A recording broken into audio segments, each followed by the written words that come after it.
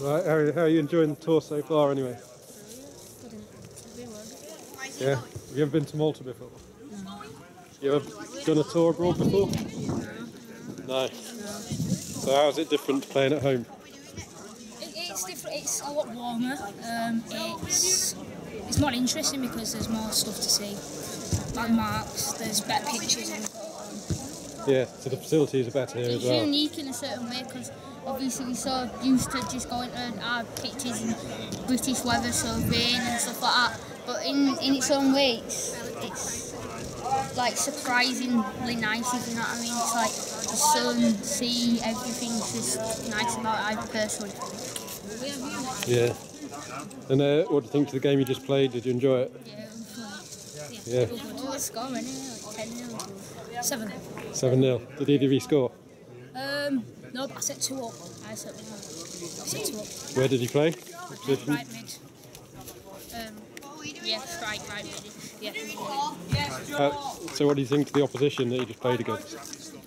Um, I think they could have not bragging, but because Play they, they used to they used to everything. I think they could have played a little bit better, but no one's perfect. Yeah. So what, um, what's been your favourite thing you've done this week then?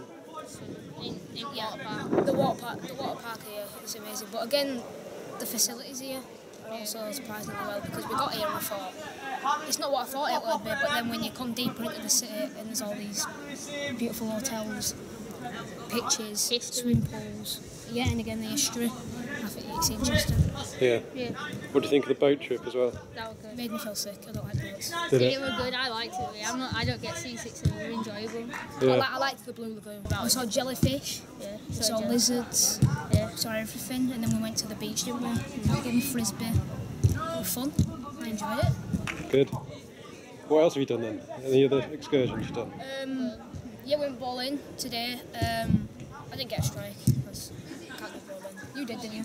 Yeah, I got one strike and two strikes. Um, the water park, the water park was good because there were slides that you've never been on before. There were like This resort, though, this resort's not bad. yeah, resort's nice as well because we've got um, the top swimming pool, the bottom one, and a lower one in the minus two area. Sauna, gym, everything. So good. Good. So you'd like to come back here again then? Yeah, I would. And you'd like to tour again? Yeah. So this is the first tour abroad you've done? Yeah. Yeah. Hopefully not the last.